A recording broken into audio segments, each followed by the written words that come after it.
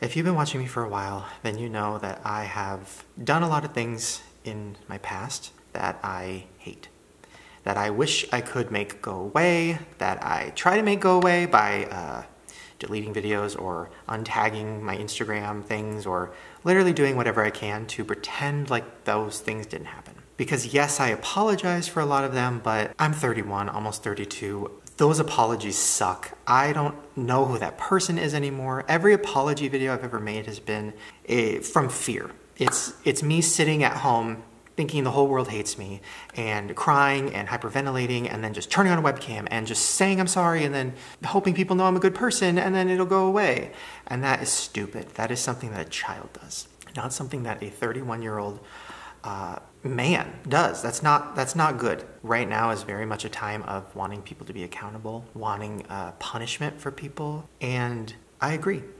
And that's why I'm making this video. I saw Jenna Marbles' video, and it really inspired me, and felt like a sign from the universe that I want to do this. So this this video is coming from a place of just wanting to own up to my shit, wanting to own up to everything I've done on the internet that has hurt people, that has added to a problem, that has not been handled well. Like I should have been punished for things. I feel like this moment right now is very necessary. I'm gonna apologize for a lot of things that I've done or said in this video. And if you don't accept the apology, that is 100% okay. And I think that's something that I, as I'm getting older now, I'm realizing it's like you can apologize, but you can't expect the other person to just forgive you like that's that's doesn't make any sense. So I think this video for me is more about just saying everything I want to say and ways that I want to help be a part of a change and not be a part of a problem, which is what I've been a part of. So I'm going to start with all the racism that I put onto the internet as a adult, not a child. I was at least 20 when I started YouTube, and I made the decision to play stereotypes of black people or Asian people or Mexicans or uh, pretty much every race, I made that decision. I said, oh, this is funny, and I put it on the internet. Now, years later, I look back at that and and I've talked about this before, but I when I say I hate that person, I mean it in the most intense way possible. I hate that person so much. That person was filled with sadness, filled with anger about their own issues, uh, in the closet, constantly uh, projecting on others, just like, I don't know, just that, that person is someone who I don't like seeing. And I think that's why I've been avoiding this because I'm like, no, I already apologized. I don't want to go back. I don't want to see it again. I don't want to see it. Uh, uh, mute it on Twitter. Uh, mute, untag it on my Instagram. Like, I just don't. I hate that person so fucking much. Okay, so sorry. So first, let's start with blackface. Blackface was something that I did a lot. Like I did it a lot on my channel. And there's no excuse for it. There's literally no excuse. I made a video six years ago talking about it and I gave excuses and I knew it was wrong and I knew I would never wanted to do it again. But I didn't do the work. I didn't actually look into the history of it and why it's so wrong and why people were so upset because my excuse, oh, I was I was just being funny. I I love black people. I'm not racist. I was trying to be funny. Like I all of that is stupid and wrong. And I put that onto the internet as an adult. And that is insane. I'm so sorry. I am so sorry to anybody that saw that and that also saw that people were lifting me up and were saying, You're so funny, Shane. Oh my God, you're so funny. Like, I, I can't even put myself in that head. I can't even imagine what it would be like to be black and to see this white fucking guy do blackface and the whole internet at that time being like, LOL, that's insane. And I am so sorry. I don't know how to even fully apologize because it almost, it seems like something that is uh, irredeemable or I don't know the right word, but it's something that I shouldn't even be able to get out of. I should lose everything for that. I can tell you this. I don't have hate for any race or any people with weight issues or, or any of that special needs. I don't have hate in my heart for anyone. But it doesn't make up for the fact that I made jokes about everyone. And some of the jokes were way too far. And I think this year specifically really changed me as a person. And I started seeing black people who I know, who I'm friends with, who I've known for a long time. I'm seeing them openly talking about on their Instagram or Twitter the years of anger they've had about racist jokes, about blackface, about, you know, microaggressions, everything that they've gone through. And I felt like the biggest piece of shit in the entire world. I felt awful. And the biggest problem with me doing that and posting it on the internet was it made young people at the time who were watching me think it was okay. And and that that's the craziest part. It's like I've had people tell me, "Well, I used to watch your videos when I was a kid, and yeah, I never saw anything wrong with that." And that is scary because it made me realize, oh my God, I have been a part of such a huge problem and I have just been avoiding it. And that's wrong. So I'm so sorry. I'm sorry that I added to the normalization of blackface or the normalization of saying the N word. That's another thing. I mean, and and my justification at the time for that was, oh, well, it was, you know, I was playing a character and it was in comedy and my black friend was there and, you know, that makes it okay. No, it's not okay. And it's not a funny word, especially for a white person to say. Me as a white person wearing a wig and playing a character and doing stereotypes and then saying the N word is something that I should have probably lost my career for at the time. And there's no amount of apologizing that can take it away and take away the impact it had and take away the amount of people that have been hurt by that or have felt like I I was just oh another white guy who can get away with everything. When I really looked into the history of blackface, I looked into it years ago and it obviously disgusted me, made me sick. I felt awful. But even at that time, I still was being ignorant and I was saying in my head, well, but I didn't do that. You know, I was playing Wendy Williams or I was playing a character. That uh, justification, that is wrong. I mean, I've watched so many videos on the history of blackface and how it was created to make fun of black people, to make them feel less than. And the fact that I, in, in some way, was a part of that, like the fact that the word blackface now will forever be attached to me, that's the level at which I have been lately. Just feeling very awful about myself, about what I did about the jokes I've made, about the videos I've made, I'm wanting to disassociate from that person, but I can't. Now, there was one person who really tried to get through to me for a long time, and her name is Chescaleigh. And probably seven years ago, she was she's a YouTuber, and she tweeted me, and we got into fights back and forth. And my audience at the time was saying racist things to her, and it was so toxic. And I'm so sorry, and it's so gross, and there's no amount of apologizing for it. And I think I was taking everything as an attack, which is so stupid. Like, looking back, that is stupid. I was taking it as an attack. Like, I'm not racist, leave me alone, I'm not racist. And, you know, it's like, okay, but look what you're making, Shane. Like, that, I don't know how I didn't see that. That is scary, and I'm sorry. But one of my biggest problems was thinking that criticism is being attacked. Um, oh, somebody's telling me that I did something wrong. I'm going to go on the defensive. And that's not a good way to live, and it's not a good way to grow and change and actually help people. So, speaking of Franchesca, there is something on Twitter right now that people are sharing, and I got a text about it today, and my heart completely broke. And it was from my podcast from five years ago. Now, in the clip, I am talking about the segment was about murder fantasies. Like, oh, is there somebody that you really hate or you're mad at? And, you know, have you ever fantasized about murdering them and how would you do it?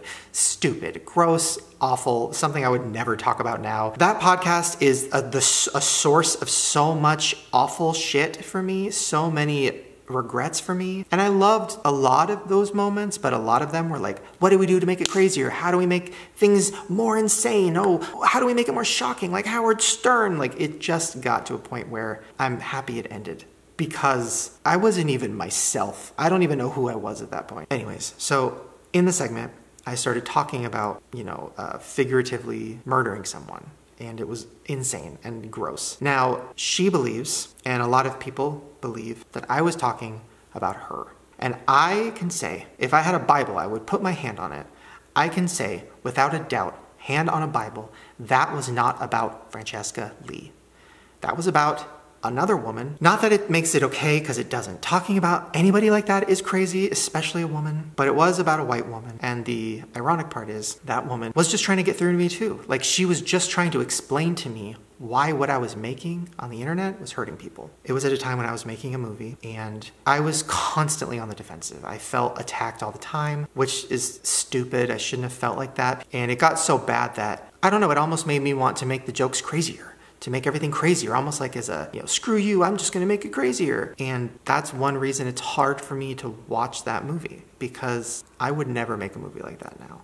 Uh, ever in my whole life. There were so many offensive jokes in it that were so cheap and shitty and stupid. And there was a woman involved who was constantly giving me criticism and telling me that I needed to, to stop making so many offensive jokes. And the reason I was so upset wasn't just because of that. There's so many other reasons. I mean, this this person really tried to I don't know, there there was a lot. They tried to ruin my relationship. They it was it was it was a lot. I had a lot of anger for this person. So that anger is gone, by the way. It's all gone and I'm so sorry to her. And I'm sorry to Franchesca, and I should have never talked about anybody like that ever. And that's the other thing. The podcast, I mean, there's so many clips that people are bringing up. So there's a clip that has been going around again. A few years ago is when it came out. And they cut out all the parts where I said, you know, pedophilia is disgusting. And they put it together, and it made it seem like I was, you know, talking about how it's normal. So gross. I would never say that. But also, I shouldn't have been joking about it anyways, which is my problem, my fault. So I'm sorry if you heard that. There's also other ones too. I mean, and that's something I have addressed before, but my childhood, my past,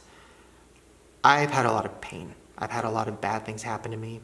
I've had a lot of issues with my family. And I took that pain and I turned it into jokes. And I think instead of joking about them so much, I probably should have just went to therapy earlier and talked about them. I swear on my life, I am not somebody who would ever talk about a child, like in seriousness. I would never talk about a child in any way that was inappropriate. That is disgusting. That is gross. It is not something I would ever do. It is something I did for shock value or because I thought it was funny or like, oh my God, my child molester character or whatever. It's all gross. And I promise that is not real. That is not me. Have I done sketches where kids were saying crazy things? Yes. Do I regret it? Yes. Even I saw a vlog clip of me and my cousin who was, I don't know, probably 12 or 13 at the time. And we were, you know, I was doing the birds and the bees talk. Uh, dumb, sh- gross shit. And I remember a few years ago, I reached out to her mom, my aunt, and I was like, I'm so sorry. Oh my God, I can't believe I did this. Like, this is insane. I can't believe I talked to, you know, my cousin like that. And, you know, she was like, oh my God, we know, we know. It's okay. It was funny. Like, we all thought it was funny. Like, th- that's just how our family is. So I kind of took that as like, okay, well, then I don't need to apologize for it. But I do because I posted it on the internet for everyone, not just my family. That wasn't, I posted like a stupid, weird family moment for everyone. I'm so sorry that I just was so thoughtless with things I was posting for so many years. I just, I don't know. I just wasn't, I wasn't thinking. I thought, I thought, oh, I'm in a weird category where I can say whatever I want. And I did. And now it's the biggest regret of my entire life. All of it. Now, even though my apologies in the past for all of these things have not been good enough, they've not been thought out, they've been uh, very fear-based. They've been not not good at all. I do want to say since I've apologized for those things in the past, I have made a lot of changes in my life. Changes in just every every every facet of me has changed. I'm not just saying it. I'm not just saying, "Oh, I'm going to stop doing that, guys." I did stop doing that. I stopped doing that stuff years ago I don't use any racial slurs in my life. I've never used a racial slur in anger ever in my life. Uh, that is not me. That has never been me. I am not a hateful person. I am somebody who took jokes too far and was really, really, really stupid and um, inappropriate. So, all of those apologies, if you accept them, thank you. If you don't, I 100% understand because there was a lot and a lot of that is stuff that you probably will never forgive me for. And maybe you didn't know about all those old videos. I 100% understand. I'm willing to lose everything.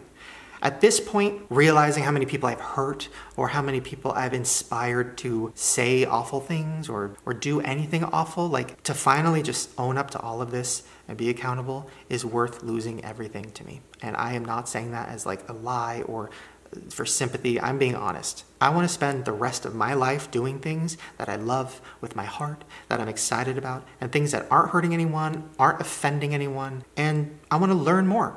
And I don't want to be someone who's afraid of my past. So thank you for hearing me out on all of those issues. I promise I'm going to do better to even more so uh, educate myself, put more people uh, on my channel that aren't just white YouTubers in trouble. Like that, I'm totally aware of how that looks. Somebody pointed that out to me a couple years ago and I got really defensive over it. And now I'm looking back going, no, they're right. They're right. If you look at my channel, it's a bunch of white people and talking about their problems. And I love a lot of those videos and I'm so proud of those videos, but you're right. I need to open up what I'm doing for everyone. So last week I went on Twitter and it had been about two weeks of me getting people constantly saying, address it, address it, address it, talking about the James and Tati situation. I was just gonna ignore it. And then when I started hearing, oh, Shane mastermind, the whole thing, it didn't sit well with me because it's not true. So when I finally addressed it, I wrote this Twitter note, which was such a mistake. I wrote it in, I had a restock for the conspiracy collection, and I woke up and I felt really weird. Like we had been pushing the restock for so long that we finally had to do it. And when I woke up and it was out, I just felt so weird. I felt so guilty. I didn't want to enjoy, I couldn't enjoy it. I didn't want to enjoy this restock when there's something that I haven't addressed that people are really, really upset at me for. So I sat down and I wrote that essay, which I wrote it to be funny. It didn't come across that way. It came across very angry which it was, but it was also supposed to be funny. It just was a huge miss in every single way. So the part of the Twitter note that I regret more than anything in my life was the part where I said that James deserved a slice of humble pie the size of the Empire State Building. I only want to talk about this situation with love because I feel like that note had so much anger in it. It was just not good. And so I'm going to come at this situation by first apologizing. I'm sorry, James. I'm really sorry. First of all, Nobody deserves what happened. Nobody. The whole internet ganging up on someone. Nobody deserved that. And who am I to say that somebody needs to be humbled? Me. Like, who am I to say that? I literally have put so much hate onto the internet over my last 15 years of YouTube world. Like, I have put so much shit, and I'm sitting here like, well, because I changed and because I'm uh, nice and this and that, like, yeah, you need to be humbled. It's like, that sucks. I hate that. That was so immature and gross, and I'm so sorry.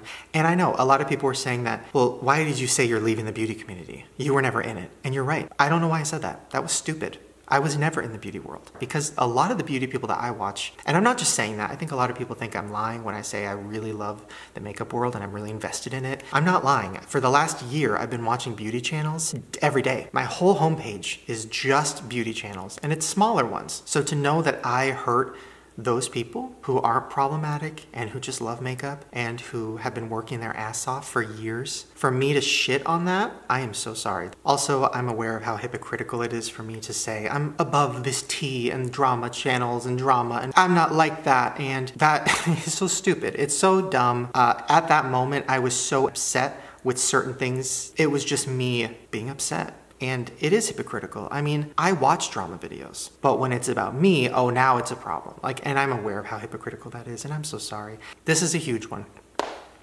I'm aware that I hold my friends or people I care about to a uh, lower standard than I hold other people. That's wrong, and I'm so sorry. I think I get attached to people who have a heart and maybe it's covered in a lot of stuff and maybe they have a lot of issues, but I almost feel like I am attracted to other broken people who have issues and I want to help them, I want to fix them, or I want to help people see a better side of them. And I'm aware that I'm friends with some people that you know have done some bad things on the internet and I don't condone it and I don't co-sign it. And that is um, something that I've always addressed with them privately. I'm ready to, to, to own up to this stuff and I'm ready to hopefully show you guys that it's okay to admit when you're wrong. It's okay to uh, be upset at your past self for making mistakes. But also, it's okay if people don't want to accept your apology or if people um, don't want to support you anymore. That's okay too.